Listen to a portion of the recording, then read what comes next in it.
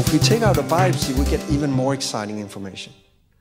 And making an MRI or CT scan, of course, is non-invasive, and you would think that could be a substitute for looking at the single fibers. But in those studies where we take out both a biopsy and do the MRI scan, we get very different types of information.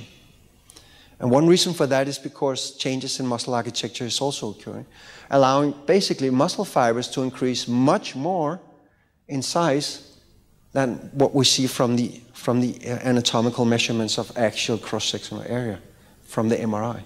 So if I had to choose, I would go for the muscle biopsy and not the MRI. In this particular study, uh, you saw it before by the Norwegians, Erik Gundersen and so on, with the eccentric training on the biceps. Looking at the biopsies, you see, I apologize for this, it's very difficult to see, but here you have the changes in area with the eccentric training, percentage changes for the 1, 2A, and 2X fibers, sorry, the weighted mean over here. And here you see the changes with the concentric training really not happening uh, anything significant over here. If we have a uh, increase over here, you see a more pronounced percentage gain in the area of type 2 fibers, which means that the relative area of 2 versus 1 fibers is increasing by 41%. Oh no, 12%, you have it down here. Or from an athletic point of view, I think from an athlete point of view, this is very important to have this increase, preferential increase in the, in the area of the most explosive type fibers that we have. And the fact that they are type 2 fibers, still you have to appreciate that this is 2A fibers, so they will also be endurant. They will also have mitochondria. So they will also be fatigue resistant, but they will be powerful and explosive at the same time. So ideally for the most athletes to have that particular increase going on in here. And you see that proportion in the relative area proportion of type 2 fibers is increased from 64% to 73% uh, as a result of this preferential increase in type 2 fiber area in response to this eccentric training.